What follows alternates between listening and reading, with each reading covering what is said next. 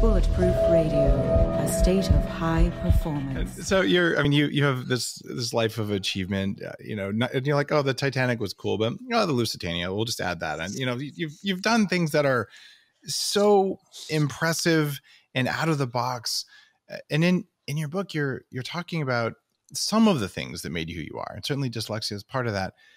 But you've lived a life that is so different than most people. I want to know what really made you who you are.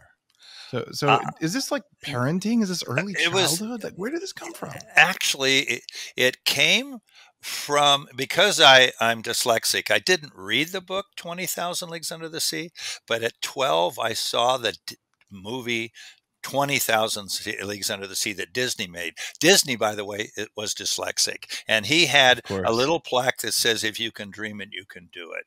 So all parents, you know, they're asked their kids, what do you want to when you grow up? And I told my parents I wanted to be Captain Nemo.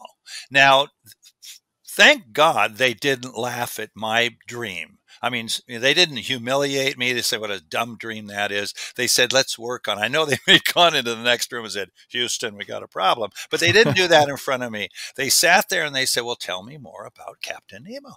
And I said, I had a submarine. We were living in San Diego. Boom, the next day they got me on a submarine. It was a diesel submarine from World War II. Uh, but I then went on, as you know, to become a naval officer and spent a tremendous amount of my life in deep diving submarines. But then they said, well, the Nautilus was more than a submarine. I said, yeah, it had a, a window that opened like the iris of a lens and you could see the bottom. And they said, hey, that sounds like an oceanographer.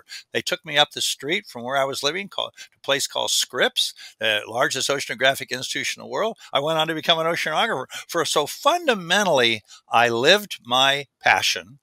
I, in many ways, I admit I probably never grew up. I never lost the Good. spirit of a middle school kid, the wonderment of everything.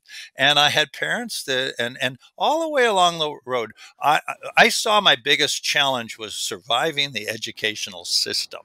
Oh, because uh, yeah. for people like me that all ch- uh, everyone's born with that flame of curiosity every child is born as born a scientist and yet the educational system can turn off that pilot light and kill it and so I was lucky enough, right when I my pilot light was getting low, someone would put their arm around me and say, "You can do it. Help me through it." I had people all the way in the book. You can see all the people along the way, right at critical pathways in my life, were there. Starting most importantly with my mom, who was my my champion, and she she she said, "You're not stupid," and so. Uh, yeah, that was fortunate. I just got lucky.